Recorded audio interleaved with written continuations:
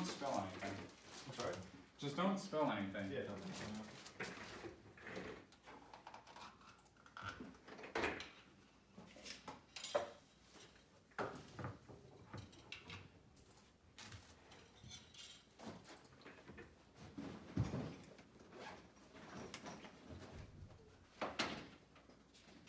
Here's uh, chapter six. Oh.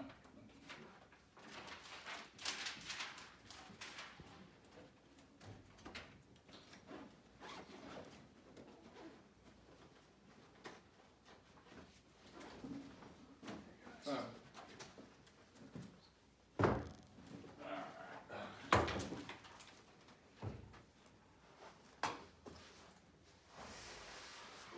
Hey Eugene, I didn't finish the, uh, the homework. Why'd you show up today then? Uh, I'm kidding. good question. No, I had a, uh, I had a really busy week. I just didn't get to it, I forgot about it. I tried to do it just now and it's just like, bad. Um, You think I could email to you or? yeah, that'd be fine. Got it. Um,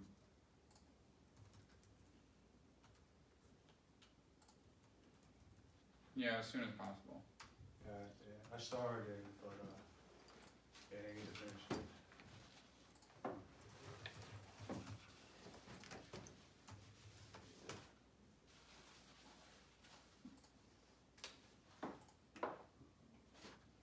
it start any of the uh, Kepler stuff? So, Kepler. I did his, uh, I did that midterm though. Uh, last night I was like, took so long.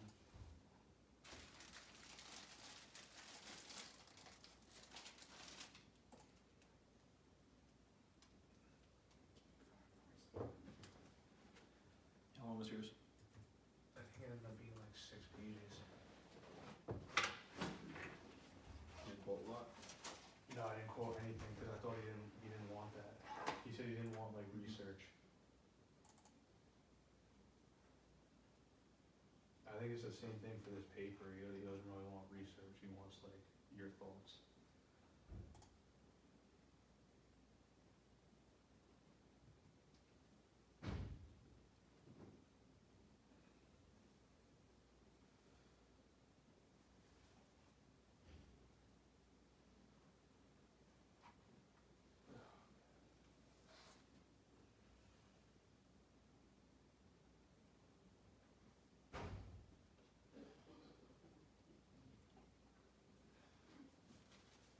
I don't know what honors class to take next semester. So I think I filled all the uh, requirements. Oh, you Like got all the ones that, um, I mean, I have only five, so all, after Oxford, I only have five. But because, um, I already filled like all, most of that core stuff, none of those really apply, so I don't know what I should do. I'm not even gonna do one.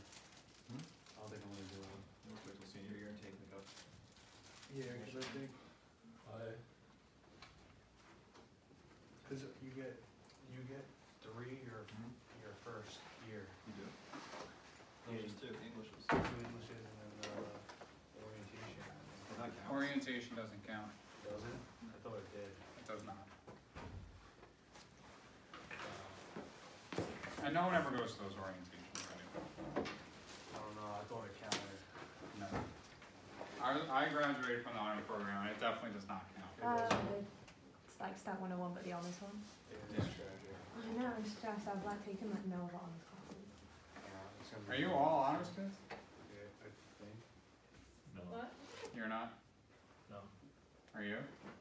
If we're Honors kid? Oh, no. Um, is Luke showing up today? He's right Yeah, there. he's coming. Oh, he. Um, alright. Does anyone have the homework that they wanna give me, or Yep. maybe they don't wanna give it to me, I don't know. I mean, if you don't need it. I was asking if we. Uh, I did not do number ten. Do you want me to do it before I? Um, you can give me what you have and just email it to me. Can we maybe go over the Wait, is it something else? Oh, it's after that one. like the last part of the third question because that was that was the only part I was a bit confused. with. Uh, yeah, there seems to be a lot of problems on that one, so we will definitely go over that. Okay. Um, Sorry. let's see, uh,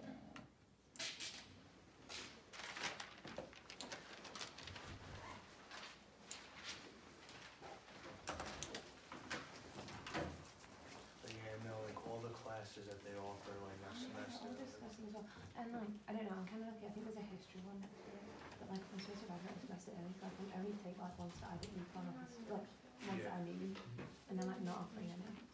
How many did you get in Oxford, is it two? Oxford's one class. One class? It's Oh, one I class. got it was ten. You go like, you go to class every day there, right? It's, Yeah, um, it's three weeks. I've been, yeah. The last one doesn't really count. The last day. Um, definitely worth the experience. Yeah. Great time. I want to go back, but mostly just to drink in all the different bars again. Yeah, Um, Oxford's so What nice. class did you take? uh, European globalization post World War II or something. It was an econ. Yeah, it was an econ one, but I'm also the one, same person that convinced or told Mihal that it should definitely not count as an econ class. Because it's really a history class, but it's also the same as the globalization class that Mihal teaches. Which, did any of you take? It's a good class. Um, it was an honors class actually that she taught. It was really good. Um, okay, so I know I said we would go over the last question, uh, three, three C. Uh, but I just also wanna go over these models again quickly, cause I kinda rushed through them last week, cause I could tell I was losing you guys. Um, and I know this week's not gonna be any easier because you have, this is your last class before spring break. Um, but it doesn't hurt to hear it again. So, whenever we talk about the mo- these models, these large open economies, we have to have these three graphs involved. We have the market for loanable funds.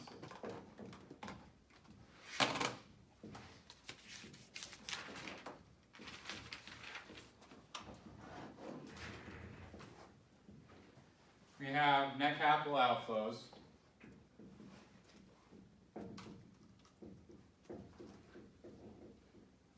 And then we're also gonna have the, uh, foreign, the market for foreign exchange. So that's basically the exchange rate.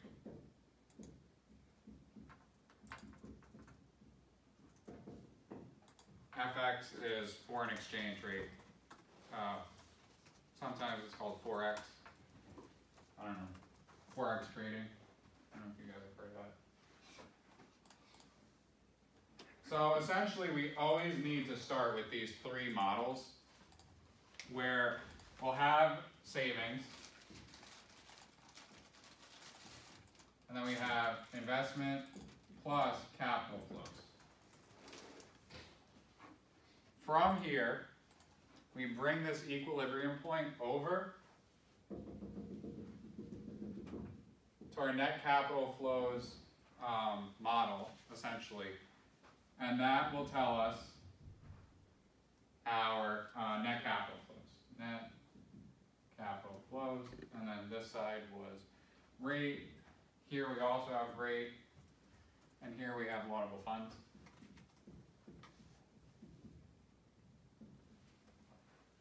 So, net capital flows, net exports, they'll equal each other.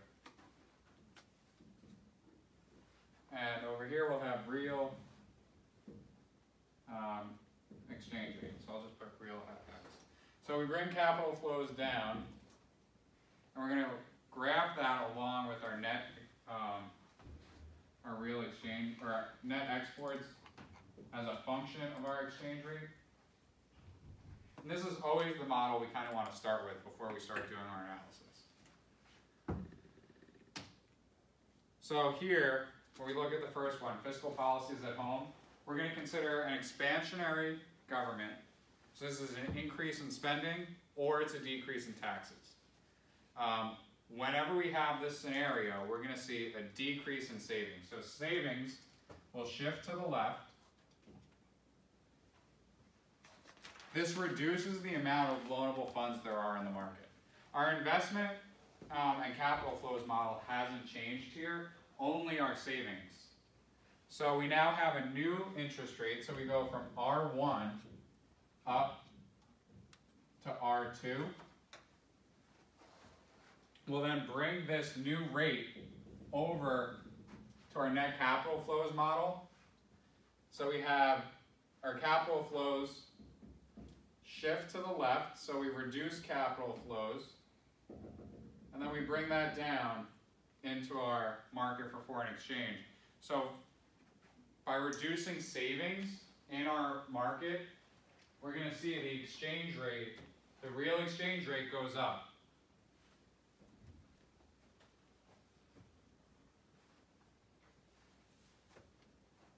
I see some of you are writing, I'll give you a minute. Um, and then, like, think about it. Add, you know, if you have any questions, ask. So you have less money in the system, so money's worth more. It's not that there's less money in the system. Unless people are saving it. They're not saving it. Um, but they're not loaning it out. And because they're not loaning it, your rate goes up. And when your rate goes up, people want to kind of send their goods to you. So you have capital inflows. Wait, these are negative. Capital outflows. Oh wait, no, no. This is not a model where we're talking about negative or positive. But we just move along this model. The model that we have to talk about positive, negatives, that's when we start looking at um, 3C. But we move along here, so we're, this is a movement, not a shift. Remember that language from macro. So we move along our model to the, wherever this new interest rate is, or real rate, real interest rate. And from there, we'll find our exchange rate, essentially. Um, all of these um,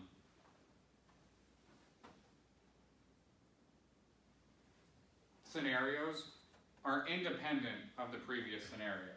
So now, to do this analysis again on the board, we would have to get rid of all of this and start over. Because now we have this original scenario. All our original scenario is in blue, right? So we had investment and savings, we had our real interest rate. But now we see there's an increase in demand for investment. Um, so the scenario is an increase in investment leads to an increase in the real interest rate. Um, this makes sense if we think about it. We, people want to invest more money. It doesn't necessarily mean people are saving more money, but if you want to make more investments, you'll pay a higher amount um, to have that money. So the investment um, plus capital flows line shifts to the right. We see an increase, so it shifts to the right. We now have a new real interest rate. When we bring that real interest rate over to our net capital outflows model, we see capital flows, outflows has moved to the left along this line, and from here we can again, again bring that down into the market for an exchange. And we'll see again that our exchange rate, our real exchange rate has gone up. Um, remember a couple weeks ago I said the hardest part about econ is forgetting the previous scenario that we just talked about to talk about a new scenario. Um, I just tutored someone for micro. They could not get that concept in their mind, that they had to forget what we just talked about to start over. And you're not forgetting everything. You're just forgetting the previous scenario. We're no longer talking about you know, the shift in savings. Now we're just talking about an increase in demand for investment. Uh, and then this one was particularly um, relevant last year is when um, our president had just started talking about um, high import tariffs on Chinese steel manufacturing, so I thought this was a good scenario for us to talk about. So um, the first thing that occurs here notice nothing's happening in loanable funds, nothing's happening in net capital outflows. I can't read off of this thing. I don't know why I keep walking over there. Um, but the first thing that occurs here is we have um, protectionist policies, and that raises the demand for exports. Because we're not importing anymore. We have to produce more to export. Um, from there, we see an increase in the exchange rate. But also, net exports will go unchanged. Because nothing outside of this model has changed. Net exports stays the same. But we do see a change in our exchange rate. And when our exchange rate goes up, people don't want to buy as much from us because it's now more expensive in real terms. All right. Um, and then we'll just, you know, we won't go over this model. I think three we've gone over is good so far. Uh, but now we can look at question 3C. Um, so the fiscal policy makers of Leverett want to adjust taxes to maintain the exchange rate at its previous level. What should they do? Um, if they do this, what are the overall effects on saving, investment, net exports, and the interest rate? All right, so one of the first things we have to look at is this model. I'm gonna get rid of this.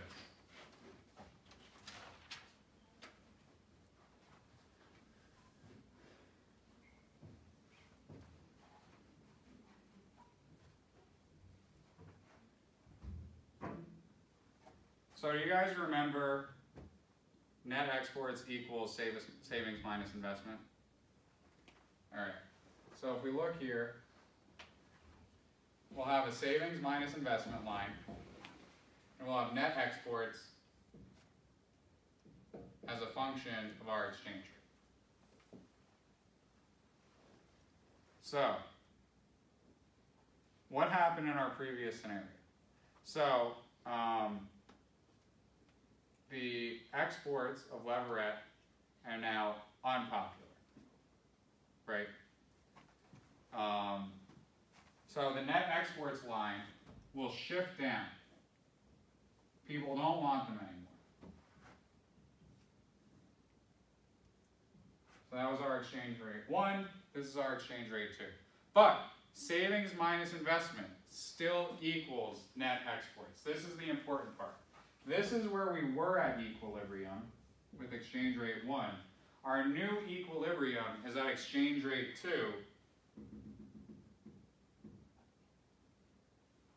Where net exports has not changed, just the price of the goods have become cheaper. So we still send out the same amount, but we get back in return less, essentially.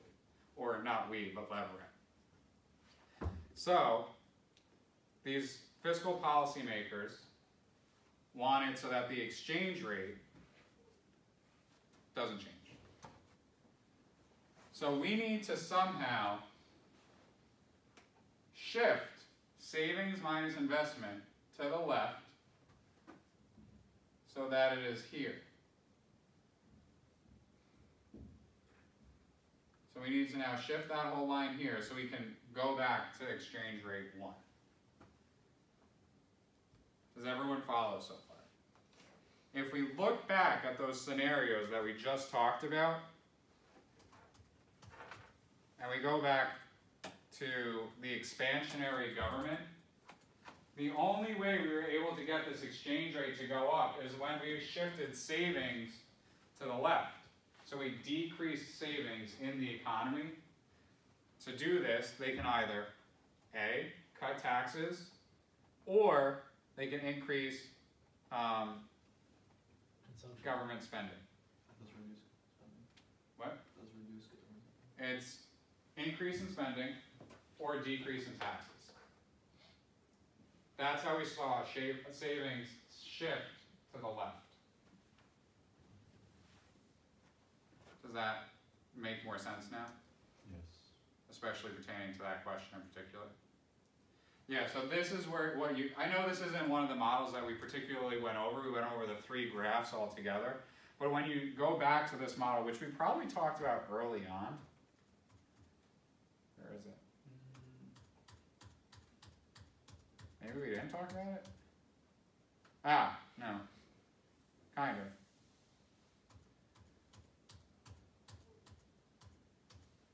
Yeah. I thought we talked about it. But if you look at this model and think about that scenario where we either have to increase government spending or cut taxes, it makes sense. Because really what we have to do is we have to decrease savings in the economy. Yes. Um, so the question here is what should they do? Should they increase savings or cut uh, It doesn't really matter what you choose, as long as you can back it up. So if you say they should increase government spending, um, what will that do to the overall savings rate? Yeah, Yeah, it'll reduce the savings. Um, does investment change though? more investment, because people are willing to spend more. No, investment just doesn't change. We haven't done anything with investment. Um, net exports, will they go up, go down, what'll happen? Stay the same. Cause we, we're only tampering with the savings minus investments. Right, but net exports equals savings minus investment. So if we reduce savings minus investment, we also have to reduce net exports. Yeah, Um, and reduce doesn't mean get it to zero. It doesn't mean reduce the trade balance, it just means reduce. So shift to the left. So you can become more negative, essentially. Um, We said we're reducing net export? but that's, Yeah. isn't that but that's only just the a function. if you're at NX, at the, at the first graph? Cause I mean, you just, you already shifted it to the left. No, no, no, the first thing that happened was we went from NX1 to NX2. Yeah, We shifted the whole net exports graph yeah, down. Now, we have to stay on this new um, line. That's what I'm going to call it. That's what I'm choosing. Um, but we reduced savings minus investment. yeah.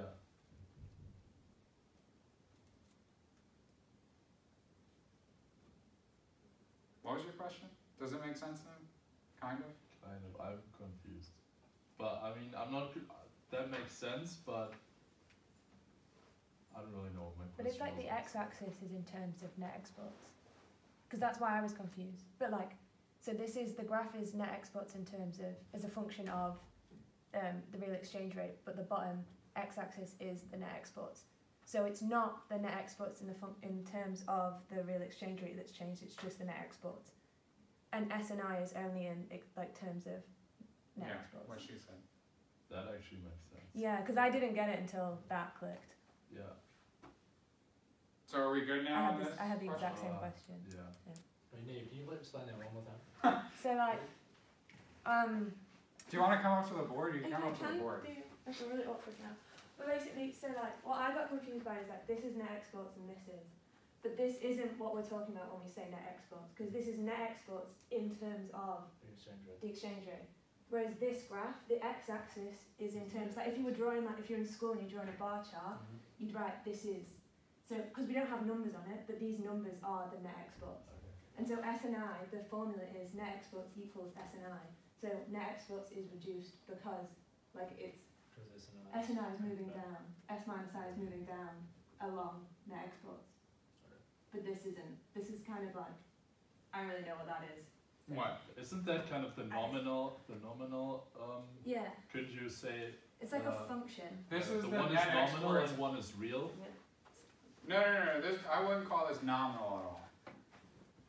But isn't the whole thing that you're trying to reinstate the old, um, exchange rate? The real exchange rate. Because whenever we talk about this, E1, E2, that's all the real exchange rate. Yeah, yeah, This is just what are our exports with that real exchange rate. yeah, that's what, that's kind of what I meant. So, like, if we have exchange rate 1, regardless of savings and investment, this will be our model. Yeah, If we have exchange rate 2, regardless of savings and investment, this will be the model that we look at. Then, wherever savings and investment falls, that's where we get our net exports. yeah. With that real exchange rate. Wouldn't it be a true statement if you say that, I mean, net exports reduced, but in terms of US dollars, it didn't because the exchange rate changed? You, when we talk about US dollars, though, we're not talking about real value, we're talking about nominal. Because the dollar puts a price tag on something. We're talking about six cars versus seven cars. You know, we're talking about real items.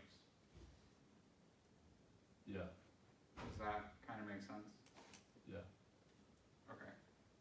Um, so if we're good on this, I'll take more questions. Like, we don't have to rush through it. But if we're good on this, um, we're going to start chapter seven, which is on. Yeah, can you just go through, so say we, s- the, um, say we choose to reduce taxes.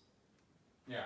So if we reduce taxes, we'll still see savings and investment shift to the left. left, right? If we increase government spending, savings and investment will still shift to the left. But if you reduce taxes, now you have to get into this whole other scenario. This is where economics starts getting really like fussy. Like, all right, we reduce taxes, but we don't know anything about what happened to government spending. So government spending, if we assume it stayed the same, now they have to run on a deficit. If they're running on a deficit, then you have to start talking about the crowding out effect. I don't want you guys to get that far into the analysis for this question. Um, but that is another thing you have to start considering. If you cut taxes, what happens with crowding out? Because now the government has to go and borrow money. If the government's borrowing money, the real interest, the interest rate will go. Oh wait, actually we do have to talk about the interest rate. So if the government's now borrowing money, now the interest rate's going to go up. Um, does that make sense? Yeah. Um, and then the other part of it was uh, if you increase government spending, right? Again, the government to increase government. We haven't talked anything about cutting taxes. So we're back to that scenario where the taxes are whatever the taxes are. Now the government goes and decides to increase spending. How are they going to finance that spending? Taxes. No, they have to go and borrow. Well, they can't use Capital. They go into the market for loanable funds, and once they go into the market for loanable funds, the real, in, the, I keep saying real, but the interest rate will go up Because they don't because the government has to borrow money. Yeah. Um, either way, this is what we'd have to do essentially. We have to cut that savings, and the only way to do that is cut taxes or increase government spending. Um, yeah, C was a. I didn't realize how particularly tricky C was until uh, they caught me in the tutoring lab, Yeah. and like I couldn't figure out where the missing link was, and it was essentially right here. It was understanding that our net exports isn't changing unless our savings and investment. Is that what were saying, Paul? I can't remember what we were talking about twenty minutes ago. Uh, I don't know either, honestly. Um. Yeah. Uh, I don't know. Exchange rates return approval. Uh, there should be, we said expansionary fiscal policy, which would be, but we said reducing No, that was taxes. that was definitely what we were talking about. We We said reducing taxes, but, yeah, um. Tax revenues I mean- reduced. Said nothing about like government spending, no, we just said we just talked about uh, yeah, how that affects consumption because I mean that's what it says in the formula, and then how that decreases spending. So I guess that's kind of what we talked about. You mean decreases savings? savings. Yeah, I mean savings, not spending. Um, all right, and uh, you know, I'll go through all of these. You know, whatever you guys have handed in. I know some of you said you didn't finish everything or whatever. It's fine. Um, we could definitely talk more about these when we get back from break, um, especially if I find something particularly not right um, about all of them. Um, but I don't expect that to happen. You guys all seem, you know, pretty on point, which is good. Um, and you all hand everything in, which is nice. I got a lot of pushback last year from particularly Nikki, yeah. who uh, didn't want to do anything, but did it eventually. Um, all right, so now we're going to talk about unemployment and the labor market. Um, every Thursday, I like to reread the chapter just to make sure I, you know, I go in with a fresh mind. And as I read through this chapter, I thought they should know most of this, but there's going to be one particular part that's very um, kind of annoying, and it's the chart. And once we get to the chart, you'll get why it's kind of annoying. Um, but so, for the purposes of this chapter, we have all of these different letters that we have to worry about. L is going to be labor force. When you think about labor force, uh, what does that mean to you guys? The people that are not at, well, not actively searching, it's the people that are, you take out anyone who's actually working. So not including people who are unemployed or actively searching for work. Right, with- it's the people who are in, actually working, not the, um, what do you call it, the ones that, um, unemployed or the ones that kind of stop looking for work. It's the people that can work, right? It's the people that can work. They don't have to have jobs, Okay. oh, but they also have to be looking for work if they're not working. Like they can't just, like, if I'm sitting at home, I am physically able of working. But if I'm not looking for a job, I'm not gonna count the labor force, because it means I don't wanna work. Um, so L is gonna be all the people that are unemployed and the number of people who are employed, which kind of makes sense if we look at this equation eventually. But so E is the number of people, uh, uh, number of employed workers, and U is gonna be the number of, uh, people who are unemployed. So our labor force is all the people that are unemployed plus all the people that are employed. Therefore, our unemployment rate is gonna be the number of people unemployed divided by the labor force, all the people that can work. Um, again, we have to simplify these models. We can't start thinking about all this, you know, weird like population growth and like people aging out of the workforce and all that stuff. So we're just gonna assume our labor force is fixed. Um, and U and E are what change. So unemployment and employment are what change. Um, S, the letter S is just going to denote um, the rate of job separation, and F will denote the rate of job finding for the unemployed. So, in this model, the rate of people finding work is equal to the rate of people leaving work, leaving jobs. What does work separation? Not like getting laid off or Oh. whatever. Um, and we even have this nice little proof of a steady state. So our rate of, un- of people losing work and equals our rate of people finding work. So this um, the rate of unemployment equals um, the rate of those in the labor force minus the unemployed losing work, essentially. So from there, we go down to this next step. So we can divide everything by L.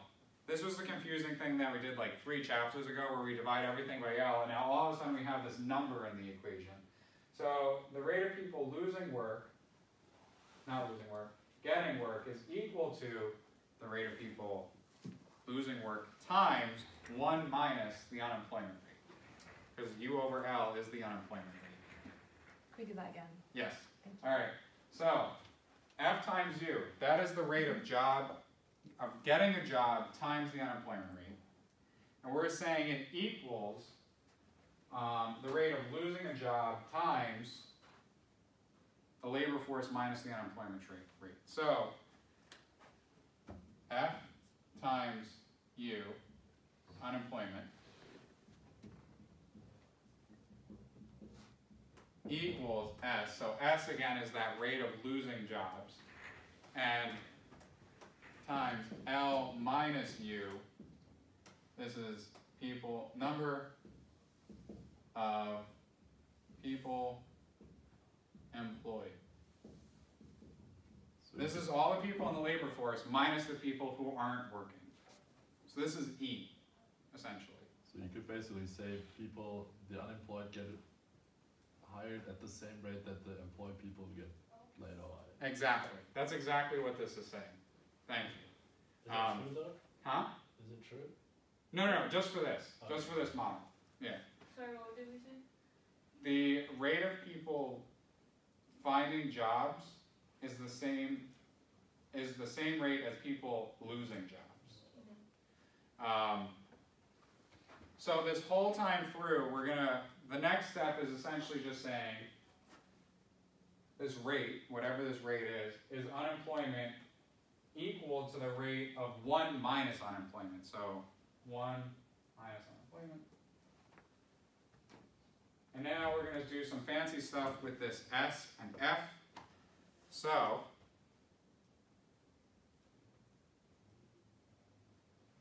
we got the unemployment rate equals S divided by S plus F. I know, very annoying. Um,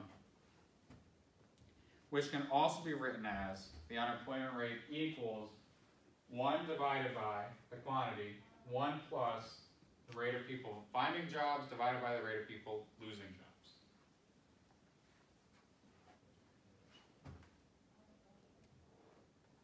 So in this scenario, essentially, if um, we suppose the rate of employed people losing their jobs is one percent, and the rate that the unemployed people find jobs is twenty percent. Um, did I just make up that scenario? No. Um, so I have the scenario here. So you, we're gonna- can you say that again? yeah, so if we look at this last little part here, this is the scenario we're gonna work with. The rate of people um, losing their jobs is gonna be one percent. And the rate of people finding jobs, the unemployed finding jobs is twenty percent. So it's not equal anymore. The quantities are equal. So if you look, Oh, F the is the rate, S is a rate, but the rate of finding jobs times, S, S is not a rate, S is. Yeah, it's the rate of, Oh, Yeah, S is a a rate. rate. yeah, they're rates. The quantities themselves are the same. Did I say that they were the same, the rates were the same before? It's not the rates, it's the amounts. So the people, number of people losing their jobs is the same as the number of people finding jobs. So basically, the employed people are in quantity twenty times more than the unemployed. Wait, say that again? In this scenario, the employed people would be twenty times more than the unemployed, so that Yeah. it equals. Twenty times the rate is that, Huh? But the, sorry, the rate is, The, the, the rate of unemployed people finding jobs is twenty percent. The rate of people losing jobs is one percent. So the rate of, so the amount of the employed population is twenty times the amount of the unemployed population. So, what we can do is we can start substituting these numbers in essentially. So, so if S equals point zero one, that was the rate of losing a job, right? And F equals point two, the rate of finding a job. So, you start plugging everything in, U over L equals. We're gonna use this one, because it's just easier to read. Um, S over S plus F equals 0.01 divided by 0.01 plus 0.2. So 0.01 divided by 0.21 equals what? Somebody tell me. I have the answer. I don't need you to tell me, but I wanna make sure you guys can use a calculator. it's one twenty, one over twenty-four. What? Yeah, what's that number?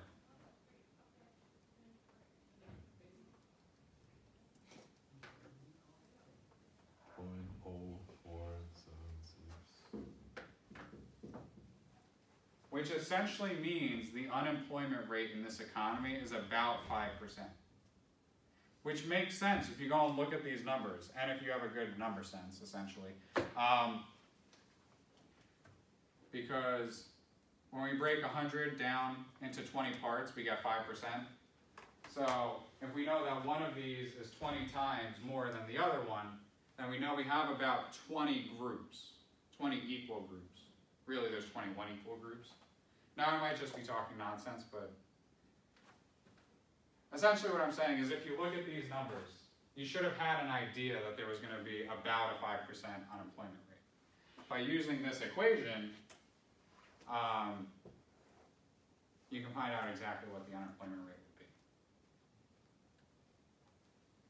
Good? Um, So really, um, another way that we can kind of think about this is if S equals 0.01, we can say that the average employment lasts eight months, the average unemployment lasts five months. One over 0.01 equals 100. Each of these is going to be a month. And then here, 1 over 0.0, uh, 0.2 equals 5. And again, we're going to say that's months. That wasn't in the notes. I'm just telling you that. That's, wait, five months is unemployment or employment? Unemployment. Oh. Oh, okay. Um. Oh, I meant this is just the last little thing about policy. So any policy aimed at reducing unemployment um, either must increase the rate of finding a job or reduce the rate at which the employee lose their job.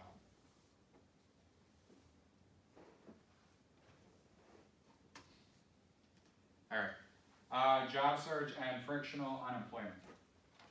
So, in our original model, the one we were just talking about, uh, we're assuming that um, all sets of skills are the same for each laborer. So if you know how to be a carpenter, everyone else in the economy knows how to be a carpenter. Um, so the flow of information about job availabilities is imperfect though. We know this to be true. Um, and then frictional unemployment is the unemployment caused by the time it takes for workers to find a job.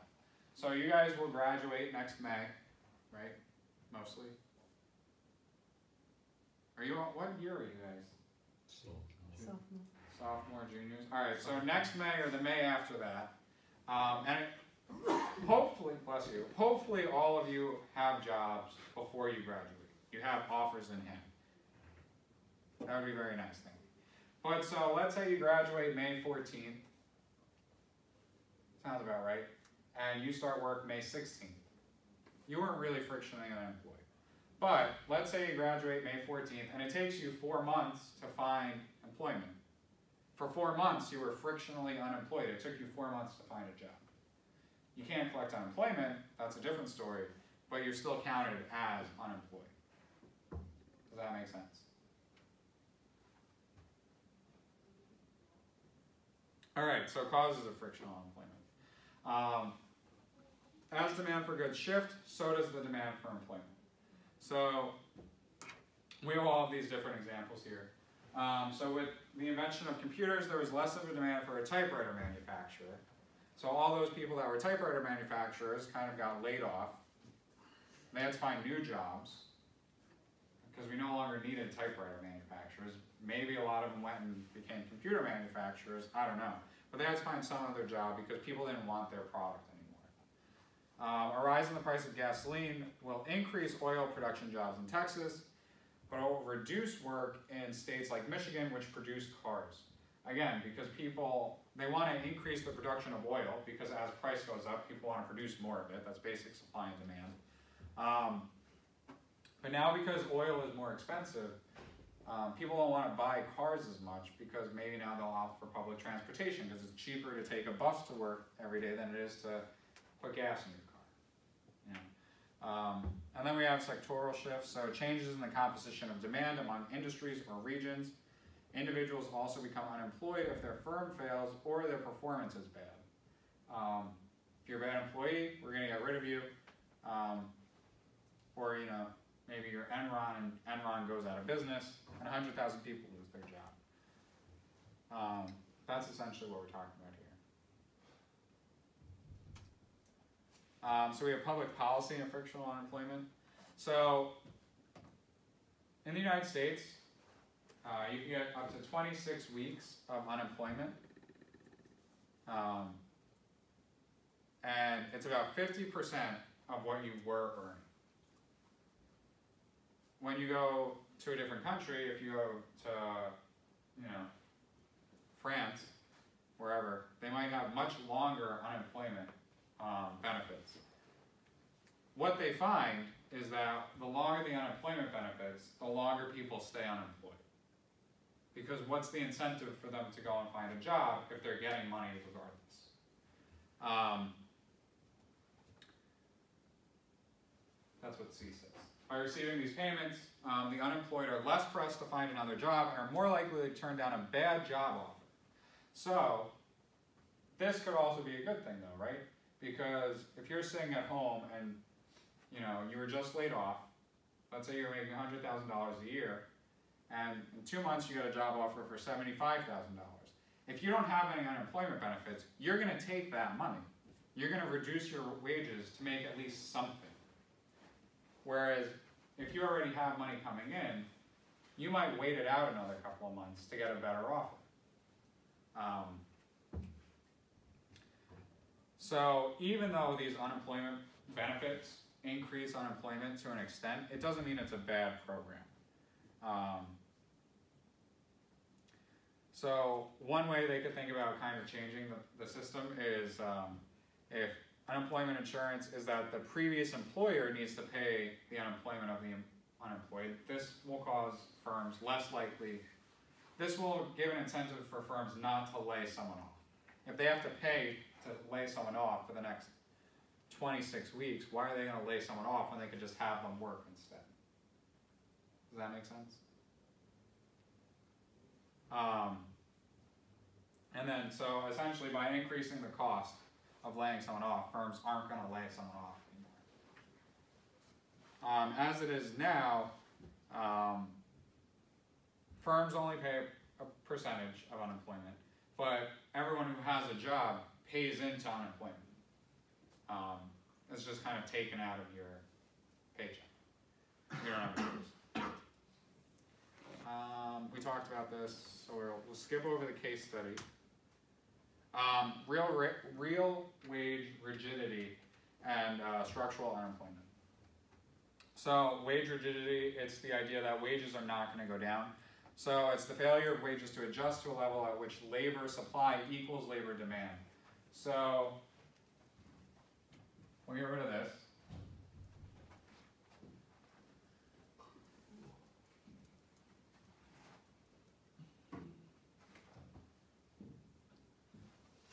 We have quantity, price, market for labor.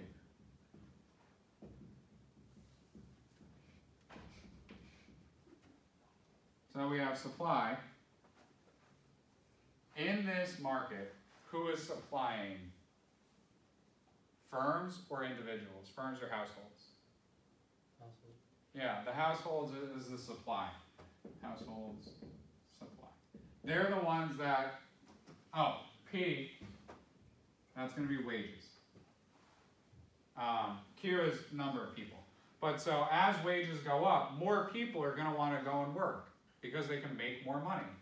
And then, you know, demand. So that's firms. As prices go down, firms will want to hire more people because their marginal product of labor will go up. Um, so if we find that wages, we have wage star there, and now all of a sudden, firms don't need people anymore. They hire robots. They buy robots. Demand shifts to the left, D prime. This would be the new wage, wage prime. But because wages are stuck here, we now see unemployment.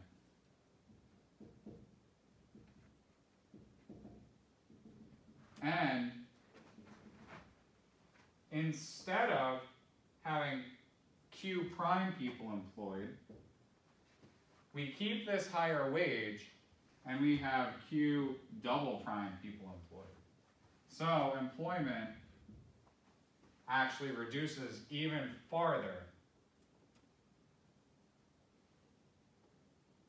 because of wage rigidity.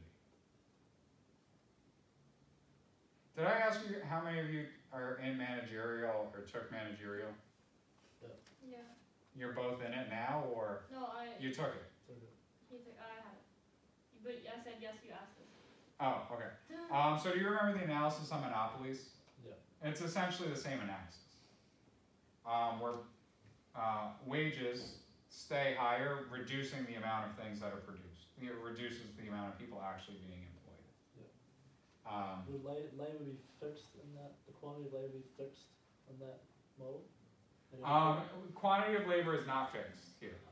What is um, this idea is as wages go up, more people will want to work. That's essentially all it's saying. Um, we're not talking the labor. You're right. We did talk about a fixed labor market. Um, I remember in models I've seen, it's like, it's usually to the right. When they'll have like a. I'm trying to think of it. well, if we start this analysis over that way, I see what you're saying and it makes sense because I forgot in this model that we're talking about we have fixed labor. Uh, fixed labor, demand, uh, wages, quantity, labor, uh, firms, whatever, supply demand. So we have wage star, now we see a shift in demand. Wages stay the same. So now this, that's not what I wanted it to be, but whatever. This is now unemployment. Where if wages would adjust, that's where wages would move down to, but no one's, that doesn't happen in the market. We don't see real wages drop to keep everyone employed. We just see the number of people employed reduce and wages stay the same. Make sense? Um,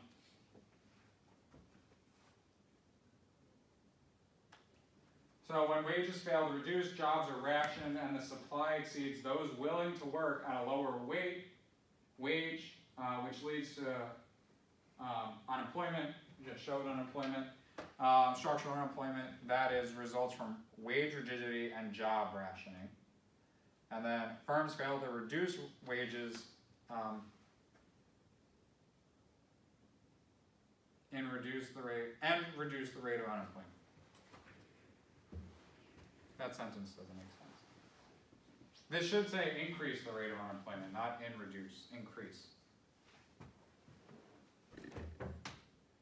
All right.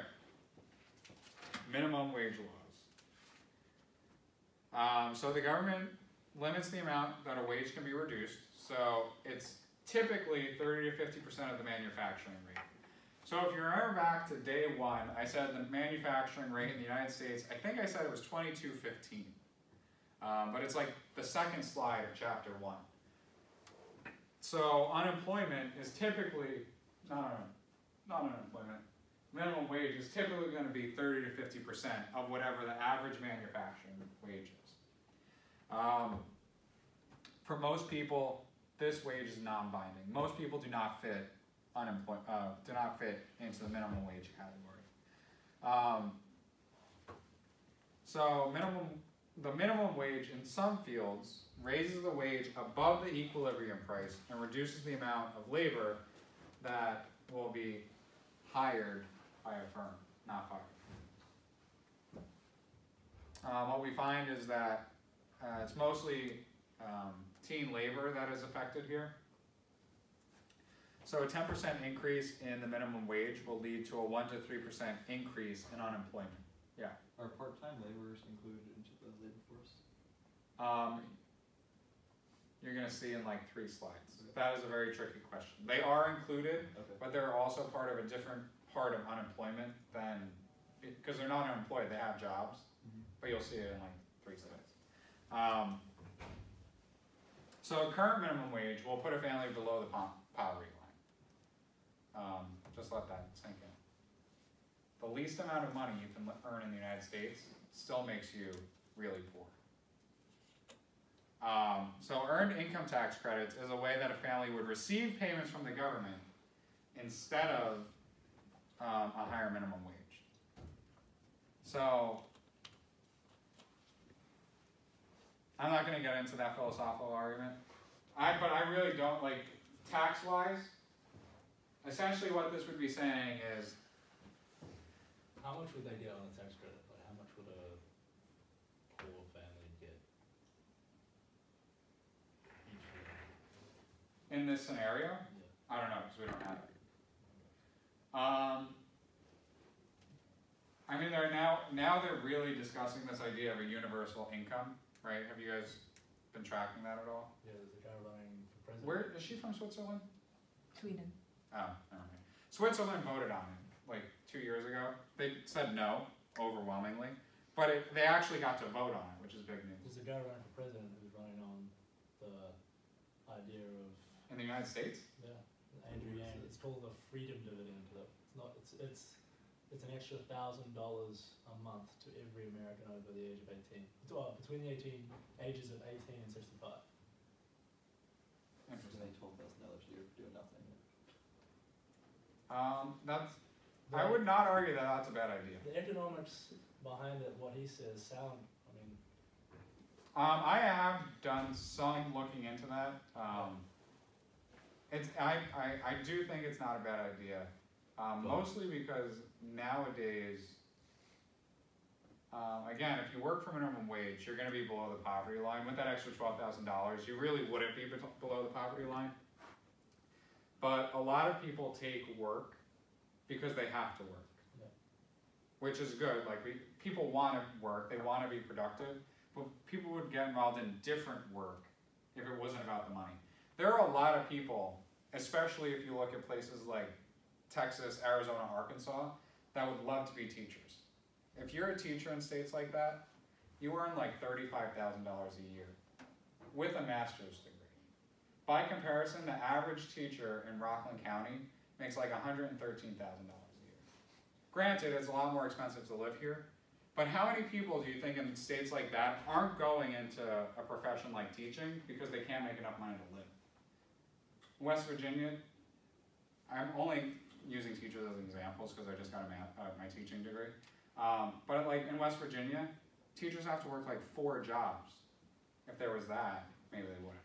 Yeah, he's like running on the basis of one, like the big one is trucking, because when automatic trucks come in, and they will, you're gonna have this huge displacement of, of workers who, and the, the, the way gonna, well, the plan to fund it is gonna be a tax on automation. So Amazon, mm, all these big corporations, it, it, they're gonna pay an automation tax that will go through the government to this, what, what he calls a freedom dividend, I think it's more of like a catchphrase, Yeah, it is like. it's always a it's- catchphrase. But wouldn't that like big time mess up inflation and stuff and like housing prices and everything if everyone just has one thousand dollars a month? I'll address that in a second. If you give that to the top one percent, it's just gonna like net, it's just gonna become nothing, cause then everyone has the same amount of money going in, so is it kind of an equal out?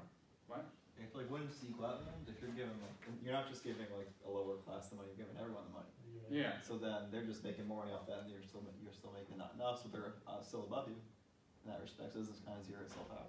um, no, because people in the top one percent, one percent earn like, uh, spend like three percent of their income. Yeah, That twelve thousand dollars doesn't make a difference. People in the bottom twenty percent spend one hundred percent of their income because they have to in order to survive. So they're now not spending hundred percent of their income in order to survive. They're now twelve thousand dollars better off.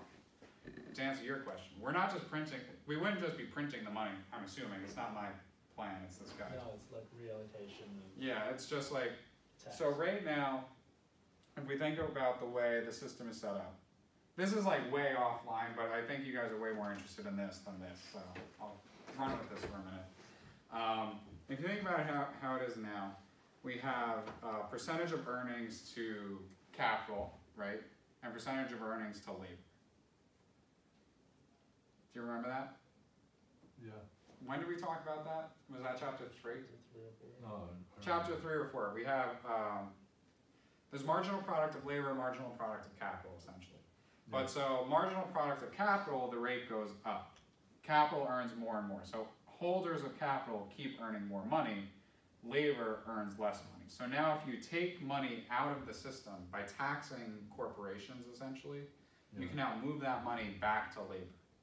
It's very difficult to force companies to pay employees a higher rate. Aren't they just gonna drive Okay, I think I think? I I didn't really explain my idea right. So I'm not saying that there's inflation because the money is going to be printed. I'm saying my point is that isn't there like, for example, for housing, isn't there a lot more competition then, and the demand would the demand would be drastically higher because now everyone can afford some sort of living and Yeah, like there's a higher cost of living because everyone has more money, so everything's going to cost more. yeah. But won't it That's only what- affect you, yeah. it only affect you in the first like couple months, and at some point, firms can realize, okay, we're losing money because of the tax, we're gonna set higher prices now, and it's like for your cup of coffee, instead of like four dollars, you're gonna charge like six dollars, ten dollars.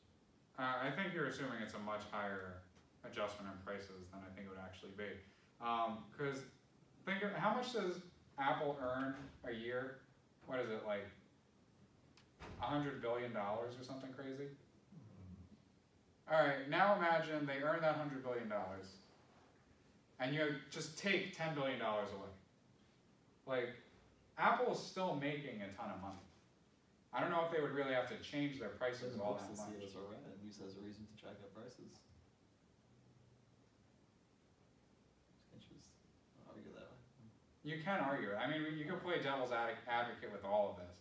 I think the main argument here is that there's an issue with so many people living in the United States below the poverty line. Just to clarify, what is the universal wage? What's that? That's the same idea. It's like everyone would get twelve thousand dollars a year.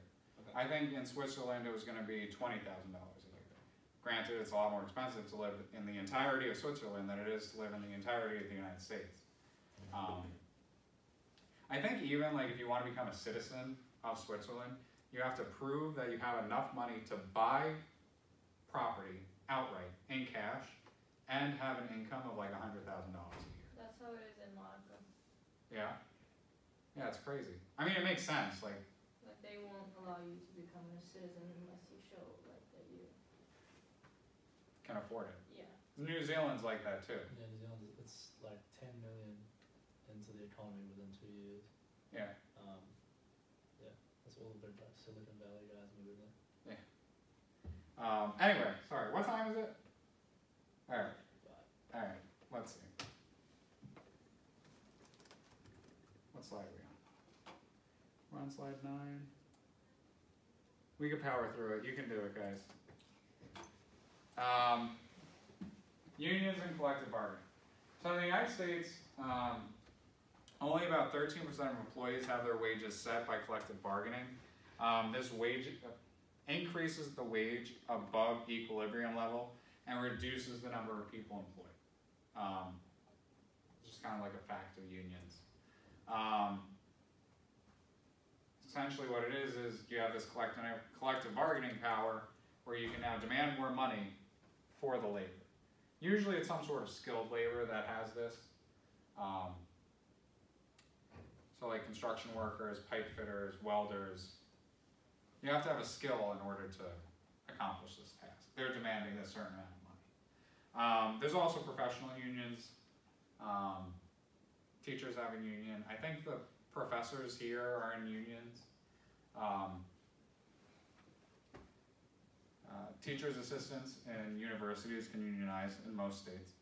Uh, and then we have insiders versus outsiders. So insiders try to keep wages high, while outsiders try to reduce wages. Makes sense. Because wages are high, outsiders can't get in because they can't be employed. Unions also protect people from being laid off. Um, so you can't lay off a bunch, bunch of people and then hire a bunch of cheaper people. Like the union just doesn't go for that. Um, efficiency wage. So efficiency wages is the belief that um, a higher than equilibrium wage will cause workers to be more productive. So this could be done. Um, this could be the reason that uh, firms don't cut wages. If you keep wages high, people will continue to work and they'll work better. Um, high wages also reduce labor turnover. If you're making money, you have no reason to really leave and go make money somewhere else if you're making a good amount of money anyway. Um, the average quality of a firm's employees depends on the average wage of all its employees. So the higher wages uh, says you have a higher quality of employee. Um, so this last theory essentially is saying that high wages improve work ethic. Isn't that diminishing then? Because even though they increase their wages so much, work productivity kind of flattens out. Yeah, I mean it's not you, like you can't pay someone a million dollars and expect them to produce significantly more if you were paying them for a job that only requires them to be paid hundred thousand dollars. Um, like that tenfold increase can't make you can only be a, a, a certain amount of productive essentially. Ah, the chart. The chart I was telling you about. We have all of these different unemployment rates. U3, unemployment 3, is the official unemployment rate. So this is the person's unemployed 15 weeks or longer as a percentage of the civilian workforce, plus uh, job losers and the persons who completed temporary jobs as a percentage of the workforce. And then there's some other, like 6% in there. This is all just unemployment. This is people who are not working. Once we start looking at U4, U5, and U6, that's when it gets a little bit more confusing. So U4 is the total unemployed plus discouraged workers. So these are people that are no longer looking because they can't find jobs. Um, U5 is the total unemployed plus discouraged workers plus all other marginally attached workers. We're going to talk about marginally attached workers in like two seconds. Um, and then U6, this is all of that stuff I already said, plus the total employed um, part-time for economic reasons. So U6 is underemployment. U3 is unemployment, U6 is underemployment. So, these numbers oh, are from January 2018. If we click on this, which all of you have this link, it's in the PowerPoint, um, we can see numbers for January 2019.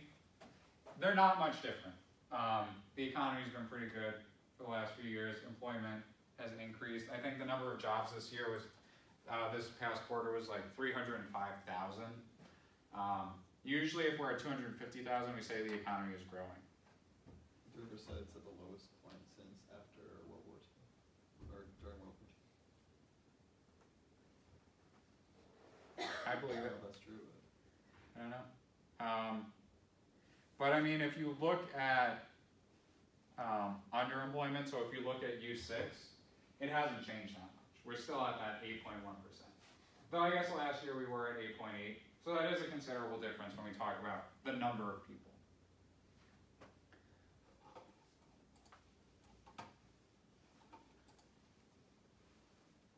Um, all right, and then we have the labor market experience. Uh, yes. So from 1900, 1990, sorry, to 2006, 38% of unemployed people were unemployed for less than four weeks, while 31 were unemployed for more than 15 weeks. So they were basically unemployed for more than four months. Um, so 71% of time unemployed was spent by those unemployed for more than 15 weeks. So if we took all of the months unemployed by everyone that was unemployed, 71% of that time could be attributed to people who were unemployed for more than 15 weeks. Um, so if we suppose 10 people unemployed for part of a given year, and of these people, 8 are employed for 11 months and 2 are employed for 0 months, um, 75% of all unemployed time is taken up by 2 people. Because we have eight people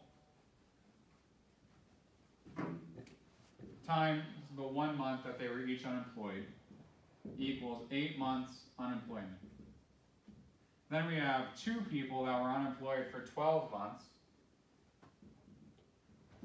So we got 24 months. So our total is we have 32 um, months of unemployment. 75% of this unemployment time is all attributed to these two people. So what we have to try to reduce is long-term unemployment. Because that's what drives up the numbers. That's what most of the unemployment can be attributed to. Um, then we have variation in unemployment uh, across various demographic groups. So um, economists find that when looking at the transition of individuals between employment and unemployment, that groups with high rates of unemployment often also have high rates of job separation. So if you come from a group that's already largely unemployed, you're more likely to lose your job. Um, we also get from this that there are higher rates of unemployment for black Americans than there are for white Americans. I don't know if this goes throughout the entire world. Um, there are definitely parts of the, uh, the world where it doesn't, but here, that is just a fact of the economy, an unfortunate fact of the economy. Um, and then we have transitions into and out of the labor force. So about one third of the unemployed um, newly entered the labor force, so that will be you guys next year and the year after. Um, or it could also be those who are re-entering the labor force who had previously left it. So, um, new mother goes out on maternity leave. She's out of work for six months. After six months, she goes to try to find a new job. She just re-entered the labor force, so she is now unemployed. For those six months that she wasn't working and wasn't looking for work, she wasn't unemployed. She was just out of the labor force. Um, we have discouraged workers. They're the people that have taken themselves out of the, you know, labor force. They've decided they've given up. There's no point in looking anymore. They can't find a job. Um,